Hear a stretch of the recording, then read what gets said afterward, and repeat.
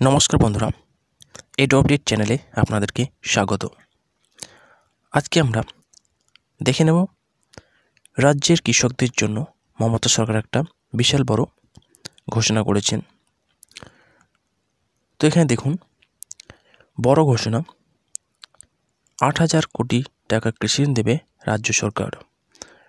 তো কৃষকদের জন্য কিন্তু বিশাল বড় একটা ঘোষণা করেছেন যে আট হাজার টাকা কৃষি ঋণ দেবে কিন্তু রাজ্য সরকার।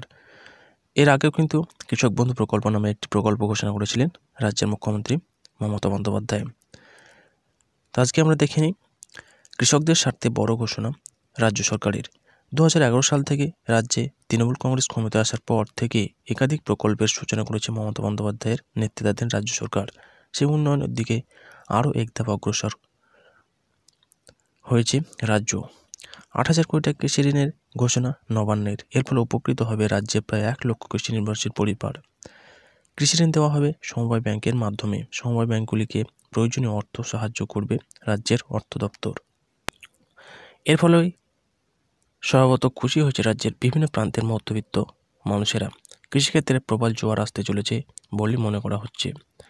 এই সিদ্ধান্ত কার্যকর হতে চলেছে আগামী অর্থবর্ষ অর্থাৎ দু হাজার উনিশ কুড়ি অর্থবর্ষ থেকেই।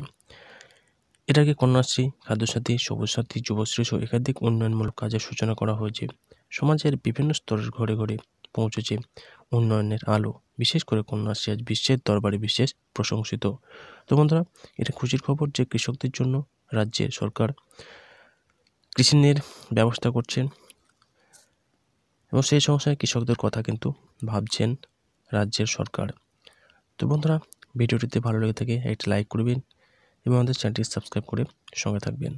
তো আজকের মতো এখানেই। আবার দেখা নতুন ভিডিও নিয়ে। ততক্ষণ বাই বাই।